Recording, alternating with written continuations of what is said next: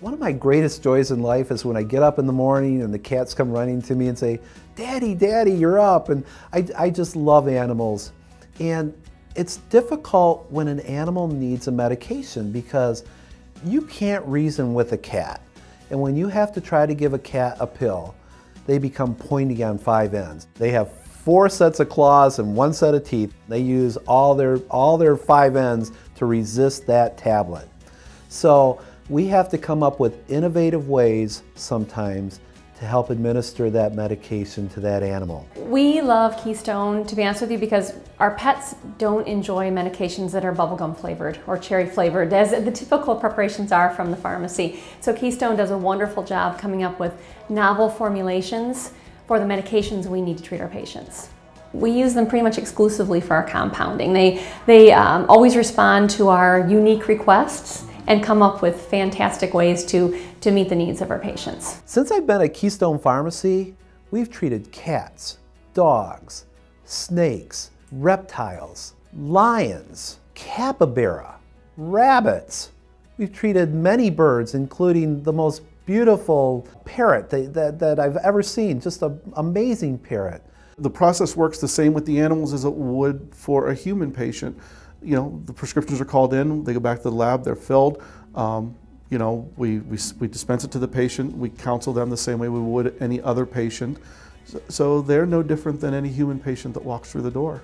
We can often take a drug that's not available in a dosage form that a, uh, an animal can take and put it into a form they can. For example, we make a really stinky, awful smelling triple fish suspension base it's made with salmon, sardines, and tuna. We, we actually go to Costco, we grind up the salmon, sardines, and tuna, uh, we put them in a blender, we preserve them, and that becomes what we start with. So to us, it smells really bad, but to a kitty, it's perfume.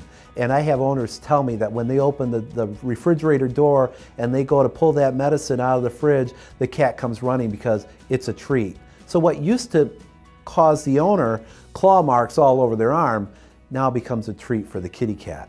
One of the reasons that we love Keystone is because we can call them and say, I have a two and a half pound kitten and I need to administer this medication that I can only find in 100 milligrams per pill, and that's simply not going to work. And Keystone is great at, at coming up with really neat new ways of, of putting that small dose into an appropriate medication that the owner can give. You know, it's one thing for me to, to consider cutting a pill into 100 pieces, but that's not very practical. Keystone takes care of that for us.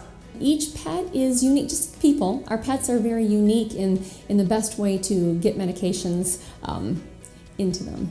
And, and the medications that we use, and our pets are living a lot longer than they ever did. And part of that is because we've done a very good job of, of, of taking some of these medications that are not typically used in cats and dogs and formulating them in such a way they can be beneficial and really extend the life of the pet in a happy fashion. And the owners are thrilled when they can um, have a medication that's easy to administer. I think that the one thing that's important to us is that, that everybody realize that, that an animal patient deserves just as much concern and care as a human patient does. And that's important to us to make sure that they get the best care possible the same way we give the best care possible to our human patients.